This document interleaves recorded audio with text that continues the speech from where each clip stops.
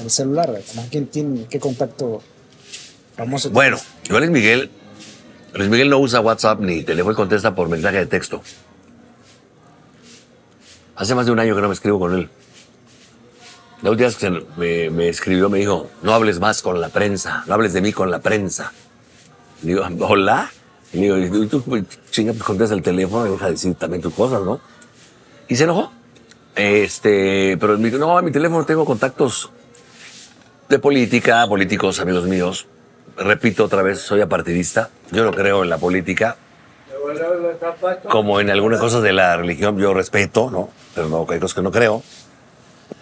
Pero, este, pues sí, te, tenía yo a secretarios de gobernaciones, de de antes, tenía cantantes famosos, tenía, pero pues no vas a estar presumiendo quién es mi contacto más famoso, pero sí conozco presidentes, expresidentes, perdón, que he platicado con ellos, que me llevo muy bien con ellos, sin ser de ningún partido. Pero sí tengo cantantes, jugadores de fútbol, cantantes de otros países, amigos míos que tengo teléfonos, ¿no? Como, pues hay varios, ¿para qué les digo? Muchísimos. Hay un cortecito aquí, señoras y señores, porque ya acabé la sopa también, espérenme, se estaba enfriando, pero estaba, me estaba quemando, luego me estaba enfriando.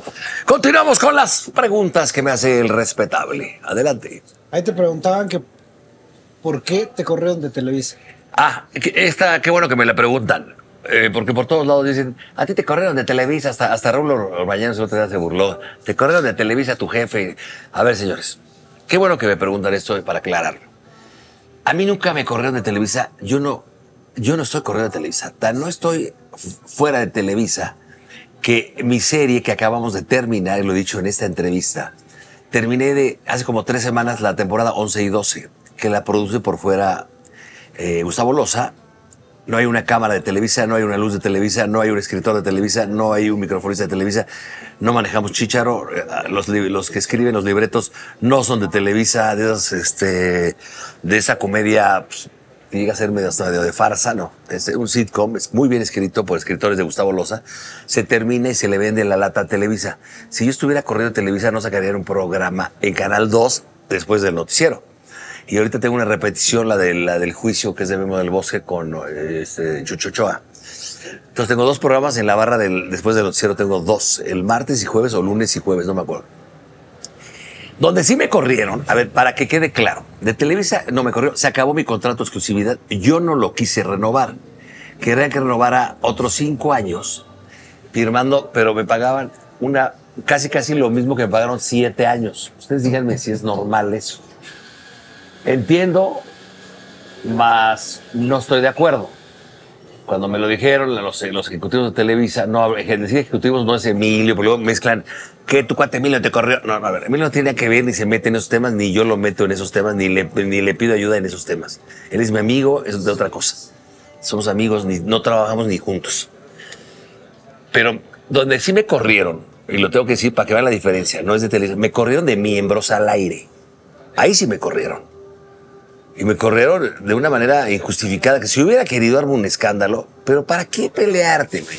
Desgastarte, pelearte, armándola de pedo. Pues no está padre, güey. Fue una empresa que yo nací ahí porque mi papá trabajó en Televisa. Imagínate demandar a Televisa, no le vas a ganar ese monstruo que es Televisa. Pero sí se pasaron de lanza, como al chavito este del, canal de Mexicali, el, que, que entre el dueño del canal que se me hizo una bajería de ese señor, no lo conozco. No sé ni quién es, no puedo, no puedo hablar como persona de él. Lo que, el acto que hizo se me hizo naquísimo, güey. Entrar al aire y correr a un güey, a un chavito. Tampoco sabía yo quién era el chavito. Le acabo de escribir, de hecho, a ver si va a la entrevista, ojalá me la des. ¿Cómo se llama? Eh, Gustavo. ¿Cómo era? ahorita les digo, bueno, el chavito es el del copetón. Este, lo estoy buscando para que se vea la entrevista.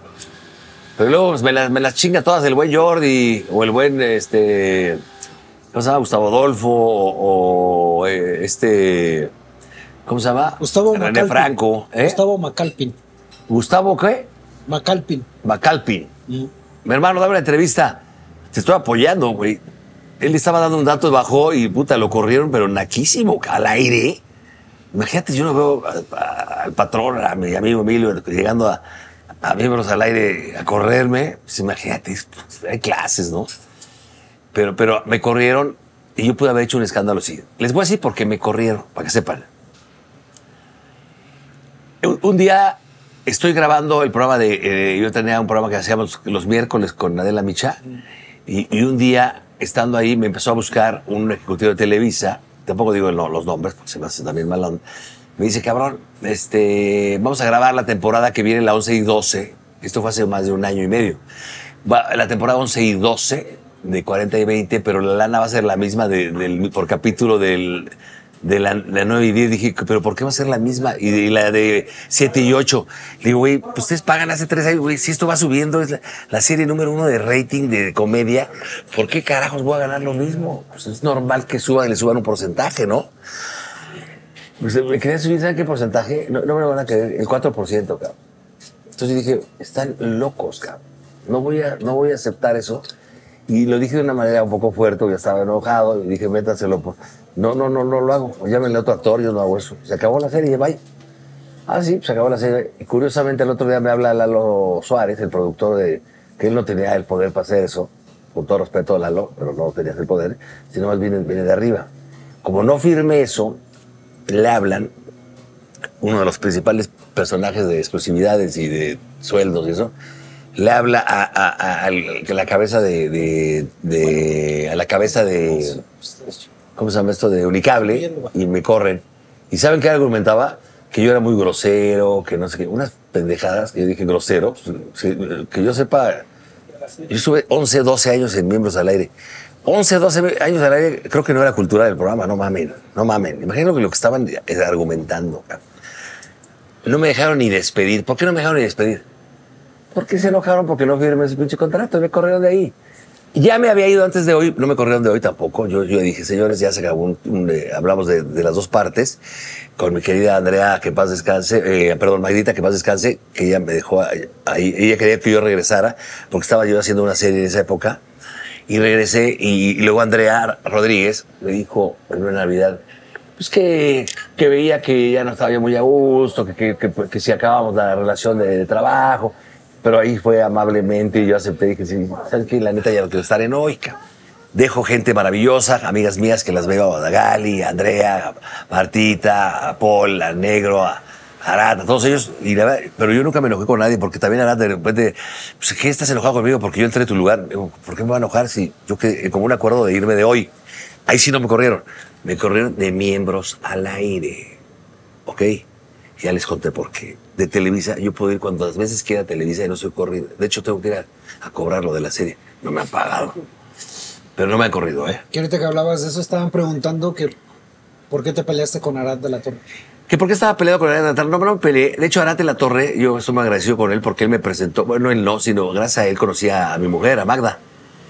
A Magda conocí a, raíz de que yo, había, yo andaba con una mujer que paz descanse, Carla Álvarez. eh, y, cortamos varias veces y yo sí, sí me iba a meter una depresión terrible. Y en una de esas depresiones, ahí les voy a decir, hace como 18 años, sí estaba yo tirado en el alcohol, pendejamente, y este, hacía muchas tonterías. De a- me escondía, le iba a espiar y cosas de, de pendejo. Te digo que he cometido errores. Y, y sufría más porque la veía saliendo con cuates. Entonces fue una depresión terrible. Y un día entró Arad de la Torre, que era uno de mis grandes amigos en ese momento, me vio ahí tirado casi que, no tirado, sino en mi cama con una depresión. Sí, la- Me levantó de los pinches pelos, me metió en la regadera y me dijo, vámonos al Condesa DF, a un hotel, hay un bar ahí que estaba, y había una fiesta de una amiga de él o algo así, o amigo de él. Y ahí conocí yo a Magda, fíjense qué cara, la madre de mis hijas hoy. Oye, Desde eh, ahí para el Real estoy con ella. Entonces, este, eh, pues, entonces, imagínense cómo quiero yo a de- eh, por todas esas cosas. Mis hijas, ella, bueno, nos invitaba a mí y a mis hijas a, a- a su casa de Morelos. Este, muy bien, y de repente pues, empezó a haber un distanciamiento normal, que es normal cuando yo salgo de hoy, él está en otros lados. Y, y él pensó, de repente también como que se clava mucho el buen Arad. Y, y un día me habló y me dijo, oye, cabrón, ¿por qué están? ¿Por qué ya no me pelas? Y una, amistad hay que, hay que regarla si no se seca. Tienes razón, ahí tenía razón, Arad. Pero le dije, cabrón, pues tú también, no te tú- así que yo reciba llamadas tuyas tampoco, cabrón.